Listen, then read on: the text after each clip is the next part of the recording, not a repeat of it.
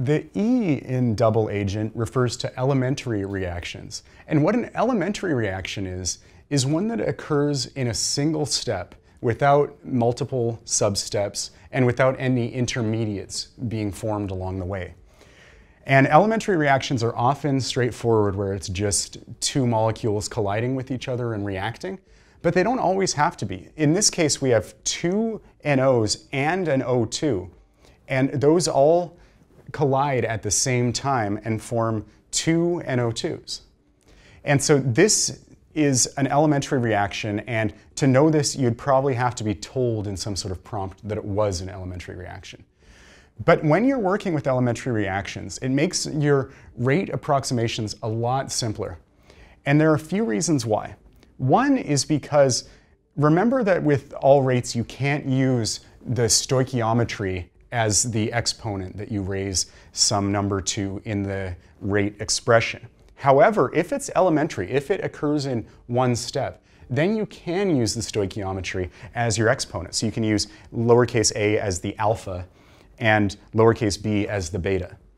And so for this reaction, because you have two NOs, the rate will be equal to k, which is some rate constant, times NO raised to the second power. So it's second order with respect to NO. And you only have a single O2, and so that O2 is raised to the first power. So it's first order with respect to O2, second order with respect to NO, and it's third order overall because it's second order here, first there, and you add those two together. So that's one very nice thing about elementary reactions. If it occurs in one step, then you can use the stoichiometry as the exponents that you raise these quantities to in your rate expression. The other thing that an elementary reaction allows you to do is it allows you to express the rate in various ways. So you can express the rate of this reaction as negative 1 over A, where again, A is the stoichiometry, and uh, because it's elementary, the stoichiometry is also the order. And so it's going to be negative 1 over A times the change in A over time. And that is going to be equal to negative 1 over B times the change in the concentration of B over time.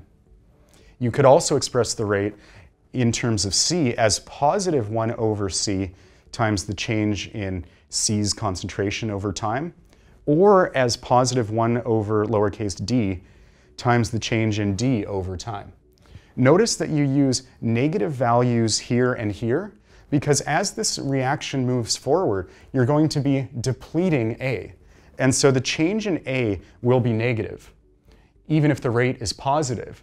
And so if this number is negative, you need a negative sign over there to end up with a positive rate despite the change of A being negative.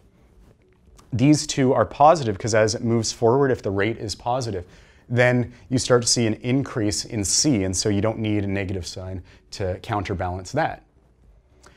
And be aware that this rate is the same as this rate. So you could express something as 1 over lowercase c times the change in concentration of C over time. You could express that as being equal to k times the reactants over time, k times a to the a and b to the b over time. And so realize that because this is one way you can express the rate laws, this can be used in conjunction with other ways of expressing the rate laws in a more complicated high-level question. But if you understand these facts about elementary reactions, that you always use stoichiometry as your order, and that you can express it in terms of 1 over the stoichiometry times the change in that quantity over time, if you realize that this could be equal to that, then you'll be ready for any elementary reaction rate problem that comes your way.